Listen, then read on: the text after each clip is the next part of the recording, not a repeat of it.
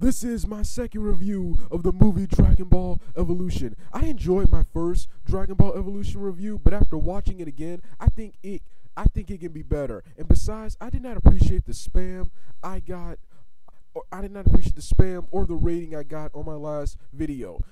Dragon Ball Evolution, of course, was a movie released in 2009 based on the media franchise of the same name.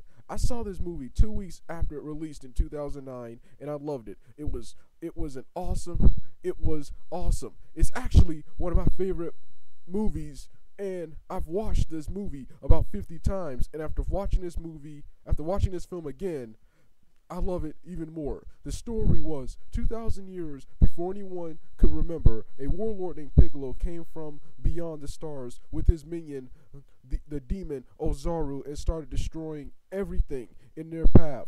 But seven mystics banded together and created the Mafuba, which sealed Piccolo, which sealed Piccolo away, and the Ozaru disappeared. Now he, now, in the present day, he has somehow escaped, and it's up to Goku and his friends to find the seven Dragon Balls and make one wish to banish Piccolo from this world. This film is loosely based on the King Piccolo and the Piccolo Jr. sagas, which are the last two sagas and seasons of, of the original Dragon Ball, and with some elements from the Emperor Pilaf saga, which is the first season and first saga of the original Dragon Ball. This movie was a reimagining of the entire Dragon Ball franchise, franchise, which means the story and characters were somewhat changed. Hence the title Dragon Ball Evolution. Some of it was good, some of it was bad. I'm going to talk about the good, the bad, then I'm going to talk then I'm going to end with the good. First, I'm going to talk about the characters in this movie. The first one is the main character, Goku. I love Goku in this film. Justin Chatwin did a great job. I like how this film modernized Goku, but kept some of his personality and ability, personality traits and abilities. And I loved the redesigning of Goku's gi. Next is Bulma. Going into this film, I really did not care much for Bulma. She's not one of my favorite characters in the anime. But once I saw this film, Emmy Rossum, Bulma's actor, surprised me. I loved how once again they totally revamped her character. She's more of an action hero in this film with guns, but is also still a scientist and gifted with technology. Emmy Rossum did a great job. Next is Roshi. Chow Yun Fat was an awesome Roshi. He doesn't look like him, but he acts like him, and I like how they managed to make him realistic, yet have him as a wise and powerful superhuman martial artist. Same goes for Grandpa Gohan, who was the closest to his character personality wise. Both actors did a great job. Next is Chi Chi, who is who once again I did not care for, but once I saw this movie, I was surprised. Jamie Chung is more of an easygoing tomboy who loves fighting and not an aggressive and not an aggressive, wholesome lady, which is her which is how she's portrayed in the anime, which is how Chi Chi is portrayed in the anime.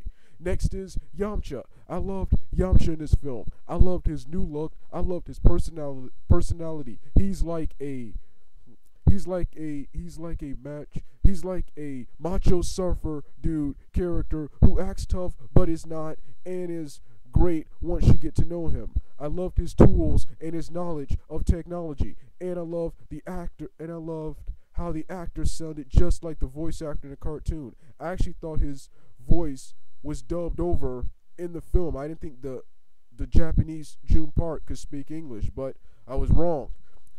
Okay, um, next is Mai. Once again, we have another character I did not like. I did not originally care for. I actually hated this character in the anime. She's, but once again, after seeing this movie, Emiko Tam- Tamura, um, surprised me. She was awesome. She was the total opposite of her character in the anime. She was a badass f- femme fatale, and that's all I'm gonna say about um Mai. Next is Piccolo. James Marsters was an awesome Piccolo. I loved his new black costume and I loved his voice. He delivers some of the most uh, epic lines ever, and I just love the way he talks. And James Marsters, in my opinion, was the best actor in this movie, and I wish his character Piccolo got more screen time and development. Uh, okay, the fight scenes in this movie, while not as intense as the Anna as it as the anime, they were realistic like the fights in the original Dragon Ball and the final fight between Goku and Piccolo was more like the fight was more like the fights in Dragon Ball Z, in my opinion. I also like how the this movie was serious and somewhat dark, not PG-13 or rated R dark, but serious and um and dramatic and somewhat dark. Not PG-13 or rated R dark, but dark um, nonetheless, with some minor elements of comedy, which I usually like in my comic book, cartoon, video game based movies. I also love the special effects in this movie. When discussing this movie with other people, I've at times referred to this movie as a B movie. No, this is a blockbuster. It just seems low budgeted in comparison to the other movies that were released during that year. The Ki Blasts, the Auras, the Ozaru, the technology, the Dragon Balls, and the dragons were awesome. I also love the background settings. They were a mixture of ancient, futuristic backgrounds. The world, the world feels just like the world in Dragon Ball. Now I'm going to talk about the um. Now I'm going to talk about the bad. I did not like how Yamcha did not know how to fight in this film, despite being a major fighter in the anime.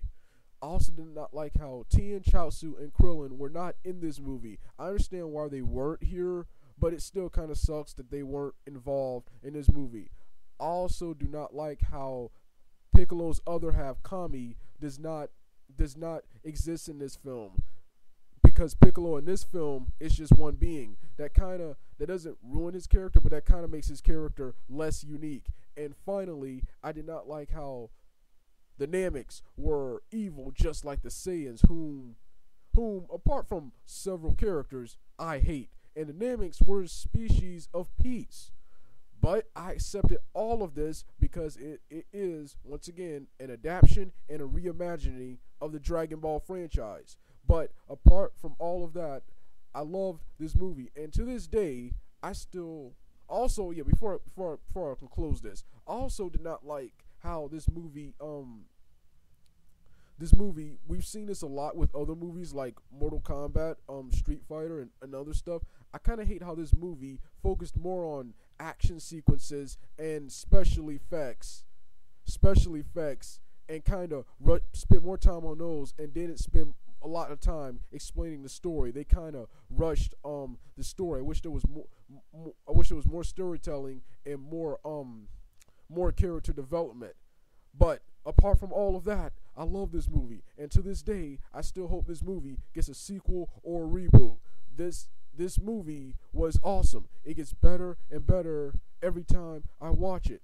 I, every time I watch it, it, it's groundbreaking. Okay, um, I'm finally done. Doug out.